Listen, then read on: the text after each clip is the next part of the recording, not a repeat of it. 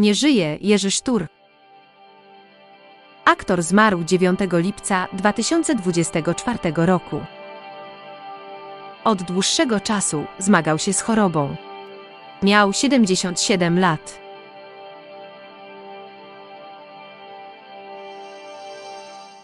mój czas przemija.